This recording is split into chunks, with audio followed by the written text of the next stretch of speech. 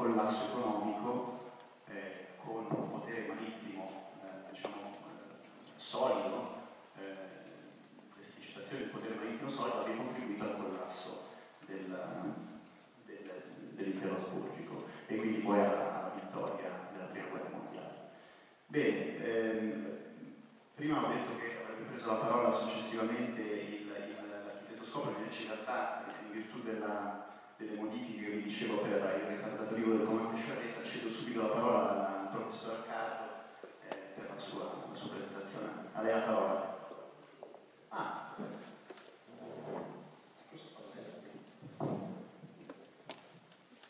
A me spetta il compito di sviluppare una piccola riflessione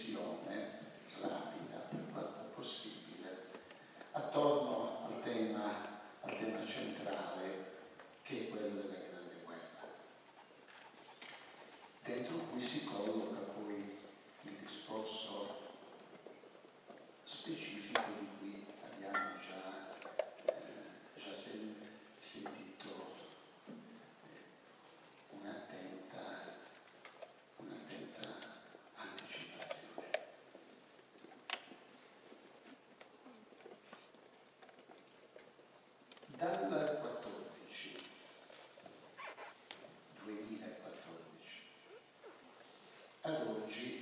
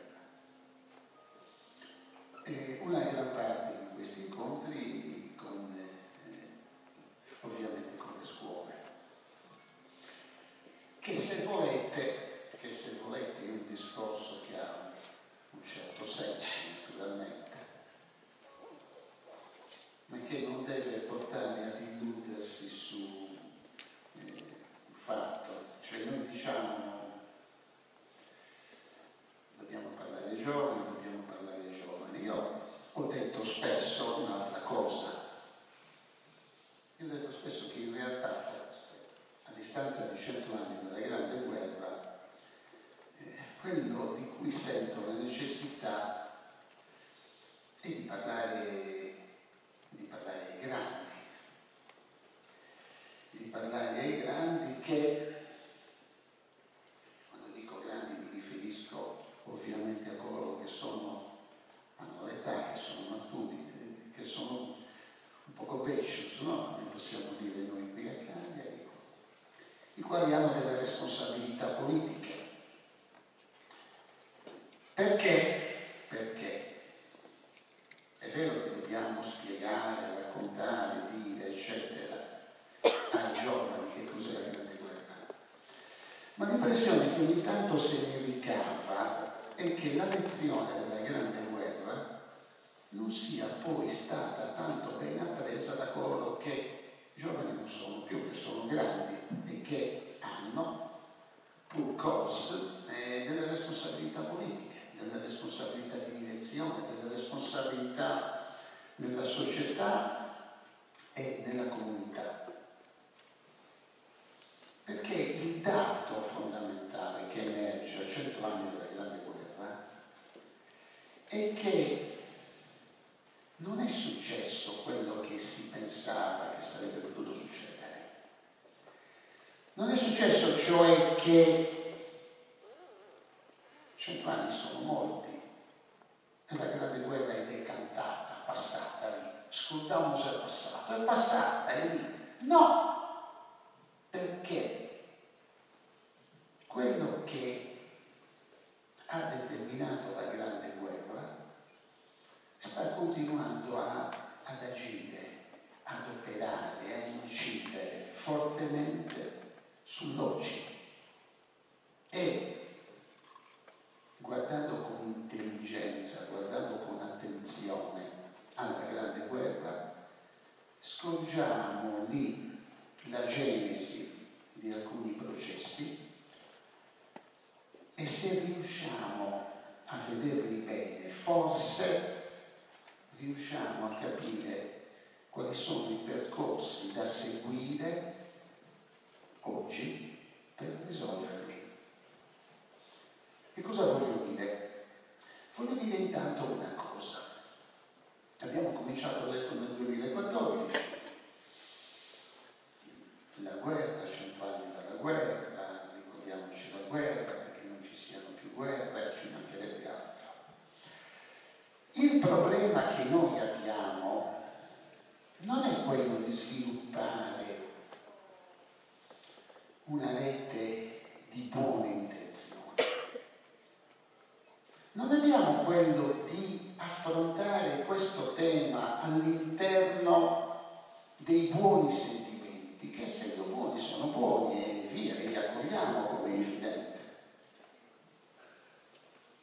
Il problema non è di trasformare una riflessione su un evento storico della portata della grande guerra in un momento di predica, in un momento in cui diciamo oh com'è bella la pace, battiamoci per la pace e via via dicendo, certo, sono temi, sono temi vorrei dire anche banali, un filosofo del Novecento che si chiamava Ortega y Gasset diceva evitiamo di essere governati dalla banalità dei luoghi comuni. Noi abbiamo la necessità di sviluppare attorno a questo evento che non è decantato e che ancora oggi pesa e pesa fortemente. Abbiamo la necessità di sviluppare un'analisi intellettuale non buone intenzioni, ma lucide, attente, Analisi, cioè scomposizione, per chi ha studiato il greco, analio, scomporre, scomporre, vedere, vedere nei, negli elementi singoli, negli elementi come si compongono. E questo è quello che Noi non abbiamo necessità tanto di memoria che è importante e su cui non voglio riflettere adesso. Abbiamo necessità di storia, cioè abbiamo necessità di guardare con con senso critico, con rigore filologico, guardare le cose e dire Ecco, questo. E questo, sapere questo, capire questo, può essere utile, se siamo intelligenti naturalmente, può essere utile oggi, può essere utile. Nel, intanto un elemento molto importante, qui siamo, siamo siete, siamo e giovani. Iniziamo a vedere una differenza e capire che cosa significa questa differenza. Nel 1912, è trascorso un po' di tempo, in Francia, ma badate, la cosa non succede solo in Francia, ma della Francia abbiamo documentazione precisa. In Francia e viene condotta una ricerca, un sondaggio, diciamo, vengono intervistati migliaia di giovani studenti.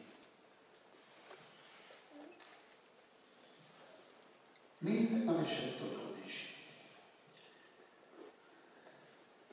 La Jean d'aujourd'hui, qualcosa del genere. Vengono intervistati migliaia di giovani. Cosa dicono questi giovani? Cioè quelli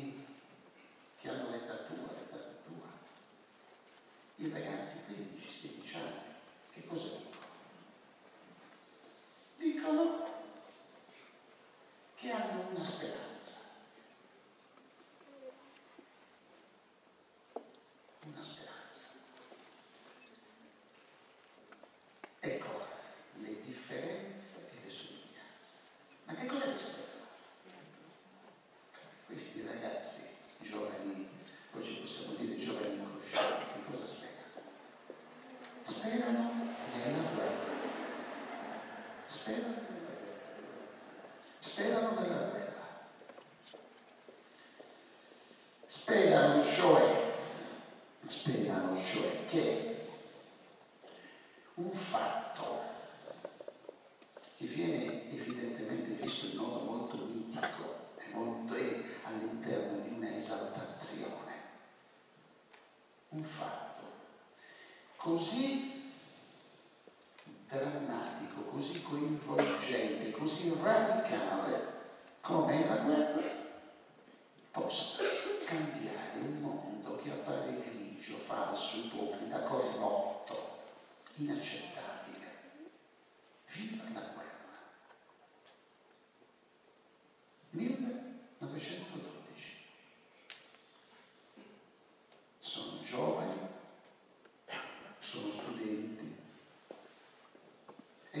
not complete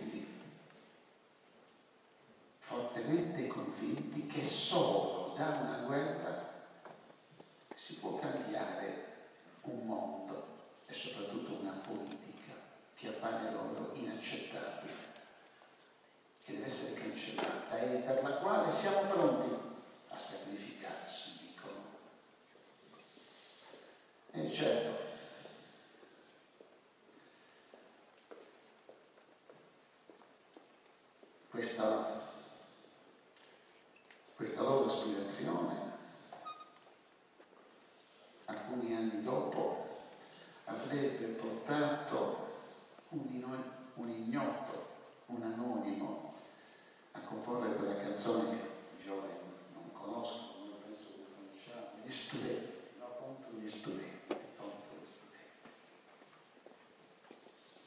Ma il mito dell'antipolitica, il mito del rifiuto della politica, l'incapacità, cioè di combattere su un terreno specifico proprio della politica, quello che appare inaccettabile distruzione, l'esaltazione del mito della guerra. Questo è un elemento importante, questo è un elemento che fa capito, questo è un elemento che fa capito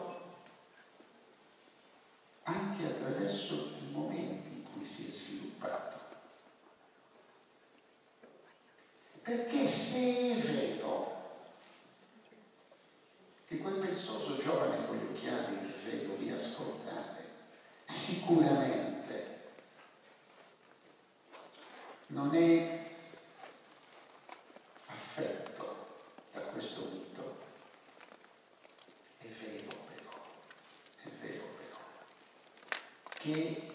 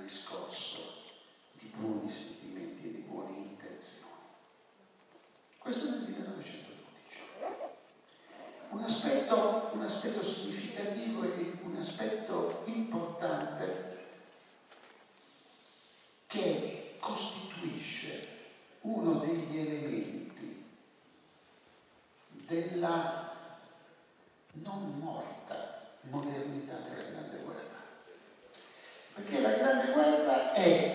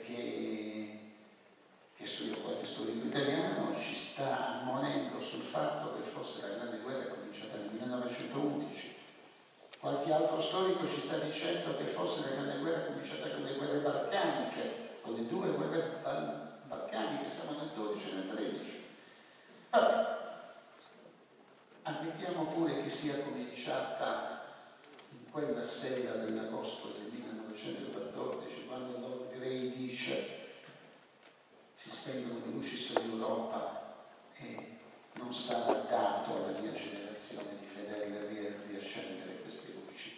Diamo pure per, per scontato che sia così. Però guardate che la grande guerra non termina, non termina nel 18. È uscito in questi giorni un bel libro di Gary sulla eh, guerra dei figli, no? libro molto bello, eh, perché la guerra prosegue, prosegue come combattimenti intanto, e prosegue a lungo, e prosegue a lungo in tutto il mondo, in Europa anche, e prosegue sotto forma di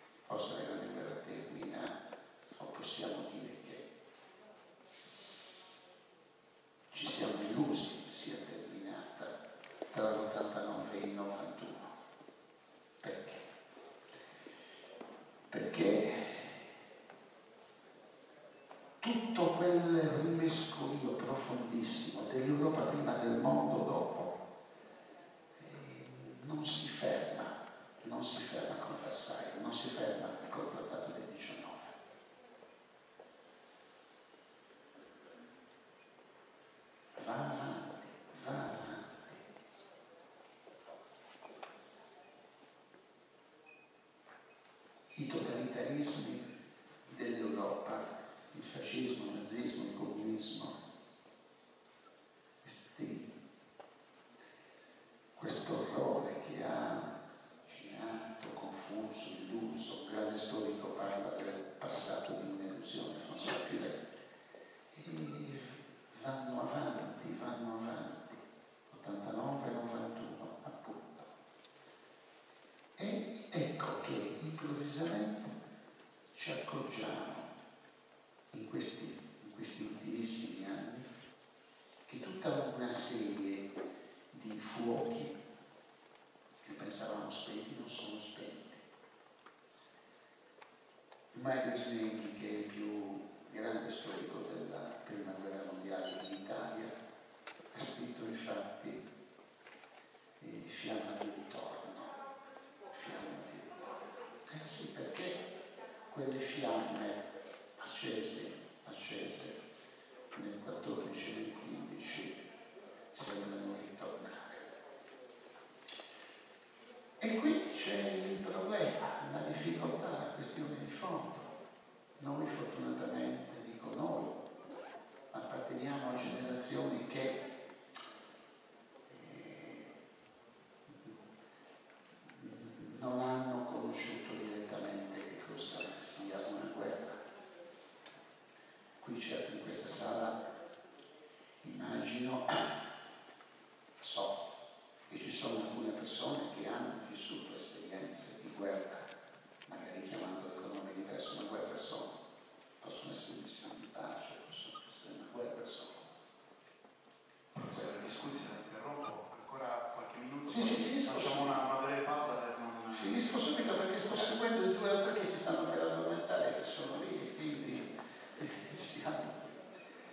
Allora dicevo, dicevo che eh, passo il filo un secondo. Dicevo che eh, il problema fondamentale appunto per queste ge- generazioni è riuscire, riuscire allora a capire di che cosa stiamo parlando.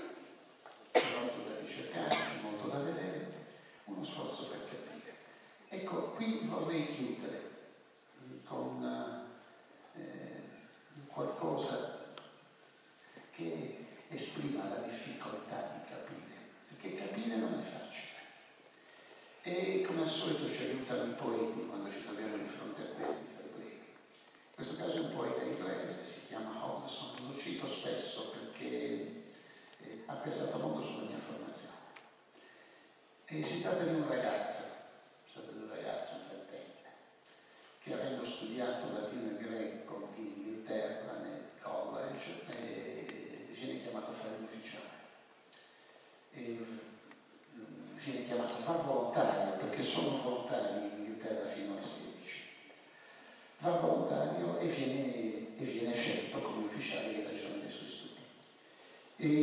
E fa l'ufficiale osservatore tutti i giorni da una collina guarda, guarda quando i suoi, i suoi commilitoni escono dalla trincea e vanno all'attacco, vanno all'assalto.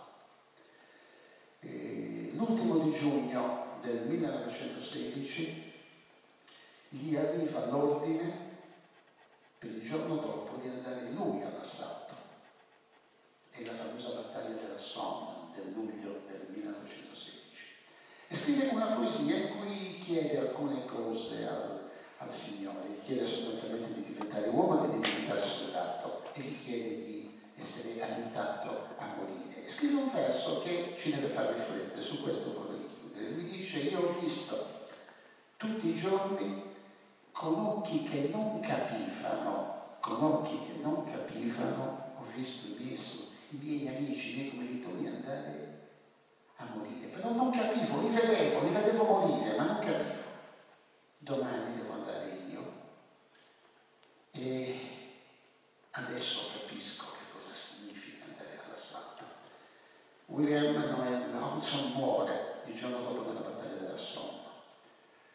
A noi rimane, a noi rimane, come dire, un compito, perché nessuno di noi si può augurare di capire fino in fondo, perché significherebbe vivere quelle esperienze. A noi resta però un compito, ed è un compito per le nuove generazioni, ed è un compito anche per il Specius,